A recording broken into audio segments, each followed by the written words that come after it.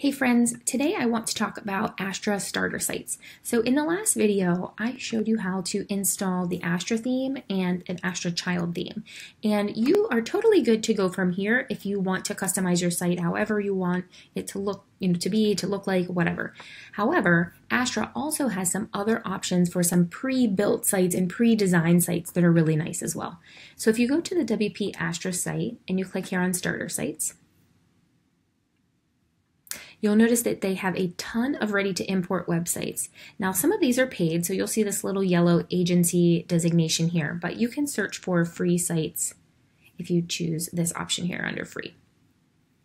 So sometimes what people will do is they will look through these and say, well, I'm not a nutritionist, I'm not a dental clinic, I'm not an organic store. I encourage you to look at the design and not so much the content. You'll be filling in with your own content. So if you like the design, then by all means, uh, pick it, even if it's for a nutritionist or a dental clinic, and so on.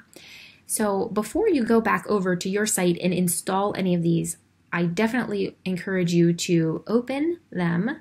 Open any that kind of catches your eye. So, for example, this life coach one, I can click quick view and it takes me to a full on demo. So, I can see that I have a uh, logo here, I have a navigation, I have a nice hero, I have, you know, kind of like a little bit about this person, um, some services, how to work with them, and kind of a nice footer here as well. So look at each one of the pages, and if you think that this would work for you in terms of the pages that they have, uh, in terms of the layout and the design, then by all means we can we can install that and get that going for you. So look through these. There's another one that I like down here and click load more. I think there's maybe 20 or so. And some of these will also have WooCommerce installed. So for example, this one. And you can tell that just based on this little cart right here. Um, and that they have an option for store. So I would probably shy away from the ones that had a store if you don't have a store, which you might not, um, you know, if, if you're here but you can just remove that and just choose not to use it. So that that's an option as well. So if you really did like this layout, you could you could go with this. Um, so some really nice ones here. I like this outdoor adventure one.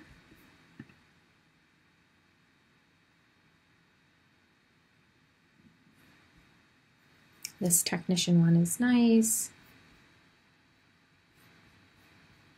This coach one is pretty nice too. So, so many you can look through. So let's just look at this coach one really quickly. So again, logo, nav, nice hero image, some other logos. Um, what I do is in my services, some testimonials, some social proof, little story, and a nice call to action. And then I can look at some of these other pages. So nice about page, with some testimonials here. Uh, maybe a little bit more on services. So that's a nice one. And then I think I'm going to install this uh, outdoor adventure. So once I pick the one that I want, so I look through all of these, I look through the demos, I'm, really, I really settled on one. Um, then we can go back here and we'll go to Astra options. And then on the right side here, we have to install the importer plugin. So there's a plugin that will pull in the site that we want. So we'll install that plugin just by clicking on that link. And then we'll see the same sites that we saw before. So we'll click free and I'm looking for the outdoor adventure site. Now it also, the first time you install this, it will ask you which page builder. And because I've done this before as I was running through practicing for this video, um, I had picked Elementor before. So make sure that you choose that. So Outdoor Adventure is right here, and we'll click on this. And if you have imported a site previously, you can check delete previously imported site. Okay, so we'll click import site. And it takes a little bit of time, and so I'll just pause this really quickly so that you don't have to watch me wait. And once everything finishes, you should see this done message and you can click to view the site. Now, if you're running on pair, there's some caching that happens. So if you refresh the page, you should see everything. Ah, ta-da! How exciting! So here is where we would customize with our logo. We would customize with our options here at the top, our colors, our fonts, our background, our message as well. So our quote or our testimonial, some of our events that are upcoming, um, our images here in the back, we would remove this guy because, you know, he's not our guy, and our messages and so on. So we can look at all of the different pages and we can make changes as needed. So let's just take a look around and see what happened. If you look under media, you'll see that all of the images from that site have been imported. So all of the images. So as we replace these images with our own, we will upload our items and our photos to the media library. So we would click add new and add all of our own photos. And then when we go into each page, we can swap those photos out. So that's the first thing we would do. I'm not sure if there are any posts in this one. Uh, there are. There are some posts here. And we would just add our own new posts and then we would go back and, and trash these existing posts. One thing that is nice to do is kind of just look at these and see how they are done. So for example, we're going to right click on this and click view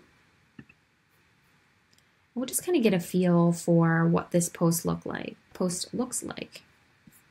So we have title, um, comment, we have a nice image here, some text, and so on. And then if we go back to this tab, we can click edit and we can see here's our title. We can close this. Here's our title. Here's our first paragraph. We have some columns here. We have a quote and a last paragraph there. So it's nice to just see how things are working. Another thing I like to do is I will change, I didn't make any changes, so I'll just click leave. I like to change these to draft. That way, if I ever need to go back to them, I still have them there instead of totally trashing them. So if you do a quick edit, you can change status to draft and that will keep it on your site so that you can look at it and refer to it but it doesn't show on the front end of your site because obviously this isn't your post, so you don't want this showing on the front end of your site. We'll look under pages. And these are the pages that it has created for us. So we'll do the same sort of thing. We can right click and view in a new tab. And so we have here our services. We have a nice image there, time to start your adventures, have some columns and so on and here. So if we wanted to make changes to this, we would edit this with Elementor. And you'll see that it says Elementor right next to all of the pages where Elementor is used. So edit with Elementor.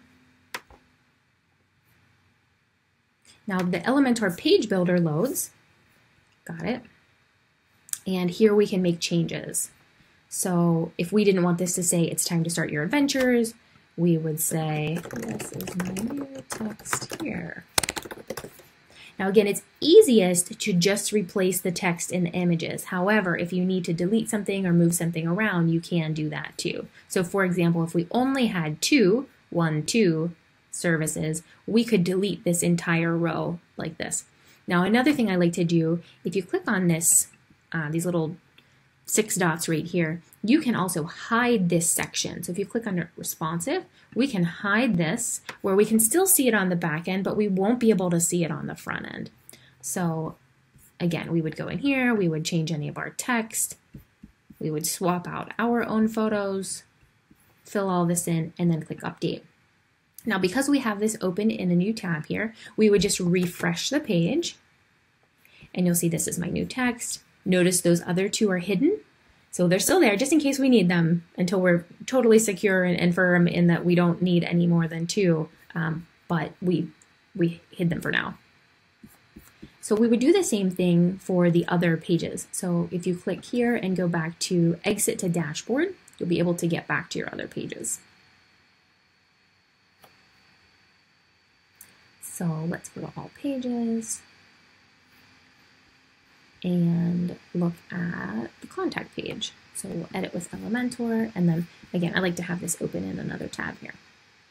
So this is the contact page. We're ready, let's talk, and contact info.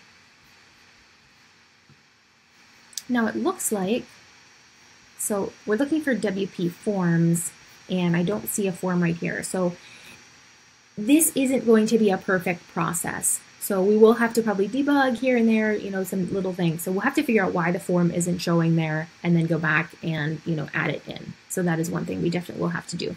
Other things you might want to do, you know, you might not want to list your email address if you are having a form. You might not want to list or you might not have a physical address, you know, for yourself or your business. Um, and you might not want to list your phone number or you might want to. We would also have to figure out why these social icons are not showing correctly. So um, this gets us, you know, better than maybe if we had started from scratch, but we still will have to go in, make our own changes, you know, and tweaks and clean up and things like that. You know, we would want to change this this image here as well. So these are Astra starter sites. If you want to go this route, um, I think it's a really, really great way to go. You can, again, also just start from Astra and make your own changes. And I'm thinking about doing another video on how one would do that. So if you have any questions, just let me know. If you like this video, you can subscribe to my channel and I will talk to you soon. Okay, thanks so much for being here.